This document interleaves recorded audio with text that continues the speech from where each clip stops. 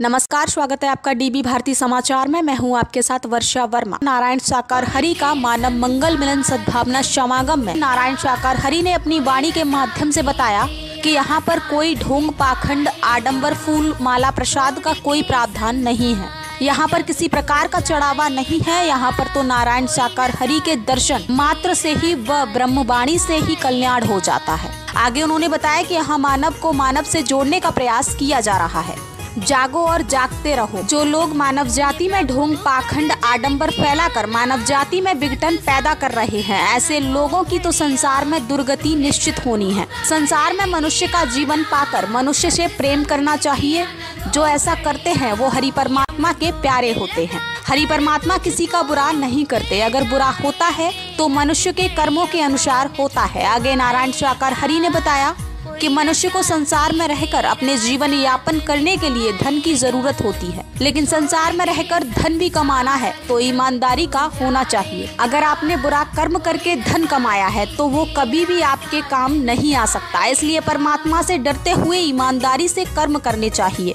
आगे नारायण साकार हरि ने अपनी वाणी के माध्यम से बताया कि हम कोई बाबा नहीं है। कोई साधु संत नहीं है, कोई उपदेशक भी नहीं है। हम तो एक हलकारा चौकीदार हैं जो आपको जगाने का काम कर रहे हैं। हमारे द्वारा जो शिक्षा दी जाती है, उसका अनुसरण करना चाहिए, उसका अनुकरण करना चाहिए, तथा कर्म में ढालना चाहिए। आप इतना कर लेंगे तो आपका जीवन हमेशा हमेशा के लिए सार्थक हो जाएगा, यानी खुशियों से भर जाएगा। पांडाल में चारों तरफ़ नारायण साकार हरि की जय जयकार हो रही थी। पूरा पांडाल नारायण साकार हरि के जयकारों से गूंज रहा था। नारायण साकार हरि के संपूर्ण ब्रह्मांड में सदा सदा के लिए जय जयकार हो के जय घोष चारों तरफ़ गूंज रही थी। हो गौतम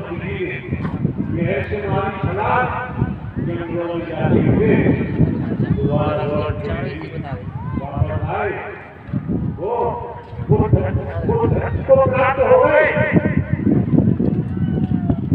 अगर राजा बने रहते उनका नाम को पुकारा नहीं है दुनिया जिसको जो अच्छा लगता है आपके पास मेरी राजा का ज्ञान मानव माता मेरे सद्भाव में समागम का आयोजन मैंने पाँच चार दो हज़ार